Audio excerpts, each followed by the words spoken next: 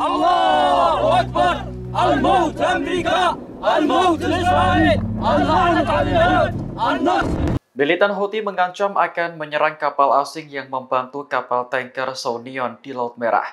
Kapal yang membawa satu juta barel minyak mentah ini sebelumnya diserang setelah mengabaikan peringatan Houthi. Houthi mengklaim kapal Saunion yang berbendera Yunani memiliki hubungan dengan Israel. Kapal itu akhirnya diserang pada Jumat 23 Agustus hingga terbakar dan diduga mengalami kebocoran pada tangki. Sekretaris Pers Pentagon Mayor Jenderal Pat Ryder mengatakan, Pihak ketiga mencoba mengirim kapal untuk membantu Saudi. Namun, Houthi mengancam akan menyerang kapal tersebut dan memperingatkan supaya menjauh. Ryder menilai ancaman Houthi membahayakan pelaut yang tidak bersalah serta mengganggu stabilitas perdagangan. Sementara itu, Houthi berdalih tindakannya bertujuan untuk membela Palestina dan menekan Israel agar berhenti menyerang Gaza.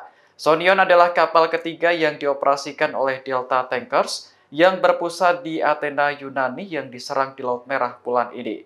Serangan itu menyebabkan kebakaran di atas kapal yang berhasil dipadamkan oleh awaknya. Namun Houthi mengklaim kapal itu masih terbakar dan terombang-ambing di Laut Merah setelah ditinggal awaknya. Download Tribun X sekarang, menghadirkan lokal menjadi Indonesia.